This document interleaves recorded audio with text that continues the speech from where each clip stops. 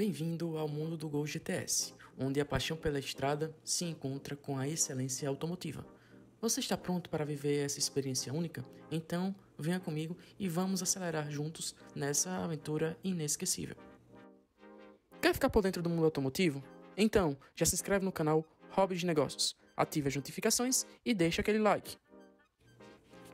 O Gol GTS foi o carro que lapidou a alma esportiva do hatch arisco feroz, a personalidade selvagem do Gol GTS marcou época e trouxe esportividade para a família Gol. Mesmo sem Dodge Charger e Maverick GT, os anos 1980 foram incríveis para quem gosta de carros. O Opala 6 cilindros começou a década como o nacional mais rápido do mercado, mas logo perdeu o título para o Gol GT. Era 1984, e o Volks apresentava-se estável e agressivo do ponto de vista dinâmico, mas tinha visual discreto frente ao comportamento nervoso que a falha que seria sanada com o GTS. Apresentado em 1987, o Gol GTS acompanhou a restilização da família, frente 5 cm mais baixa, para-choques envolventes e lanternas traseiras maiores. Os faróis mais largos eram os mesmos utilizados no Voyage Paraty. Por fora, uma decoração exclusiva incluía refletores auxiliares de neblina e longo alcance, molduras laterais, novas rodas, apelidadas pingo d'água e aerofólio. Feroz, a nova versão manteve o status de automóvel mais rápido do Brasil, ia de 0 a 100 km por hora em 10.8 segundos. Era o único esportivo a completar a prova em menos de 11 segundos. O ronco do escapamento, pouco abaixo do limite permitido, os freios eficientes, direção rápida e o câmbio de engate curtos eram alguns de seus traços merecedores de elogios. O elevado desempenho tinha explicação.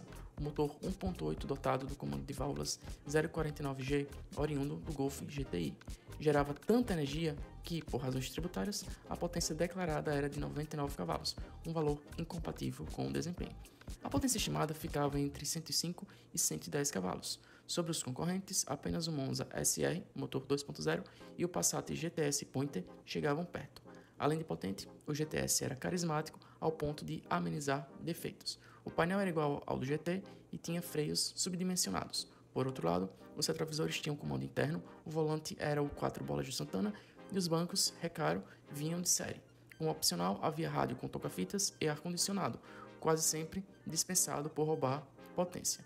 O acabamento melhorou na linha 1988, o painel de instrumentos passou a ser o mesmo do Fox, versão do Voyage exportada para os Estados Unidos.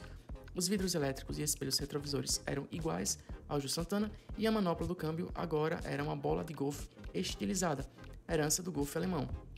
E o melhor, estava mais rápido, com 0 a 100 km por hora em 10.6 segundos. Embora tenha perdido o posto de nacional mais rápido para o GTI em 1989, o GTS manteve seu público. Era 56% mais barato que o topo de linha e o preferido dos preparadores, que abusavam da dupla carburação horizontal ou instalavam um turbo. Restilizado, o GTS 1991 enfrentava Escort XR3 1.8 e o Uno 1.6R, mas continuava imbatível na relação custo-desempenho. Em números absolutos, perdia apenas para o cadete GSI e o irmão caçula, o Gol GTI, ambos com motor 2.0.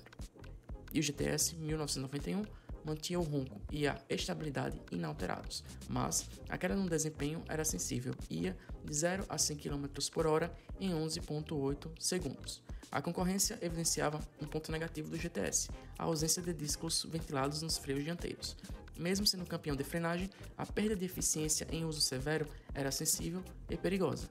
Apesar das boas vendas em vida, poucas unidades permaneceram originais. Em fim de carreira, o GTS 1994 trazia direção hidráulica, mas despediu-se com a chegada da segunda geração do Gol. Em 1996, o Gol TSI foi uma tentativa de repetir seu sucesso, mas faltavam itens de série que o irmão do meio tinha de sobra: carisma e desempenho. E então, o que vocês acharam desse vídeo? Deixa aí nos comentários. Muito obrigado e eu vou ficando por aqui. Até a próxima.